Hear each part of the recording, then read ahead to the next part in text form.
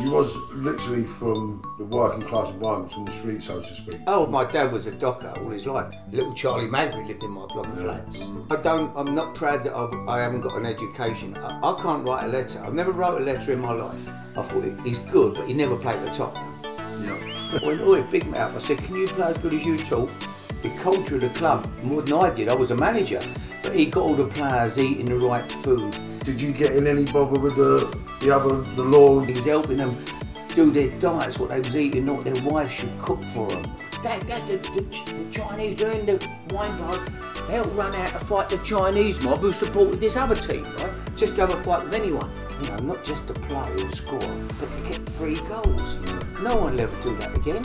I was never, yeah. Talk to me about that experience. Oh, it was a great experience, yeah. I mean, I'd never seen the programme. Bill Nicholson, the greatest manager Tottenham ever had. Right?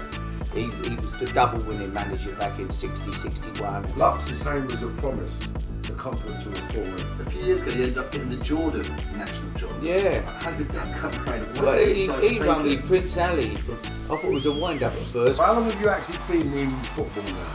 Well, I left school at 14. Bobby Moore would have been the biggest, you know, for me of all the players I ever played with. He was special. He, if ever you could imagine a gangster, this guy was the gangster. He had the big overcoat on. Bus crash was it in 1990 in Italy? Yeah, a car crash, yeah. We all have a pat on the back.